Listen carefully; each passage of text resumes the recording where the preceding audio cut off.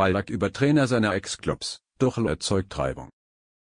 Michael Ballack war maßgeblich an der erfolgreichsten Zeit von Bayer Leverkusen Anfang der 2000er Jahre beteiligt. Anschließend gewann Capitano mit dem FC Bayern zahlreiche Titel. Im Sportbuzzer-Interview sprach Ballack über seine beiden ehemaligen Vereine, die Trainer Thomas Tuchel und Xabi Alonso sowie Rudi Ferrer.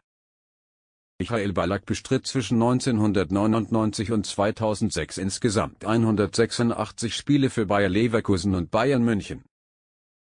46-Jähriger hat sich in dieser Zeit zu einem Topstar entwickelt und war bis zu seiner Verletzung vor der WM 2010 ein fester Bestandteil des DFB-Teams.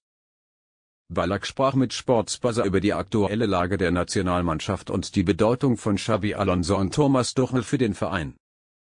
Sportsbuzzer, Herr Ballack, bevor es an diesem Freitag zum Spiel zwischen Ihrem Ex-Verein FC Bayern München und Bayer Leverkusen, 20.30 Uhr, der Sohn, geht, möchte ich zunächst über den Mann der Woche, Rudi Völler, sprechen.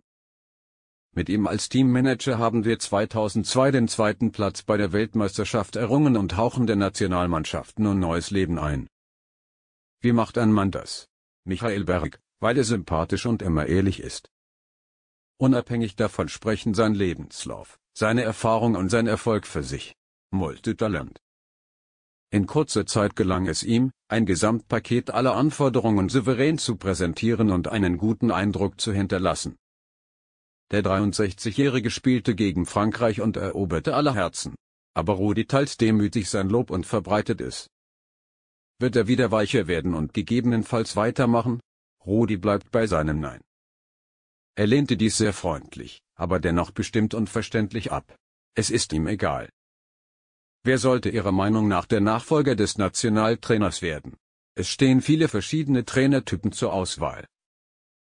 Darunter Generationen wie Julian Nagelsmann und Louis van Gaal. Das ist schwierig, daher vermeide ich konkreten Namen. Joachim Löw und Hansi Flick waren sich in ihrer Herangehensweise sehr ähnlich und sprachen fast die gleiche Sprache, aber das funktionierte nicht mehr. Generell ist die langfristige Planung für Nationalmannschaften heutzutage komplizierter, weil sie so stark vom Trainer und seiner Ausrichtung abhängt.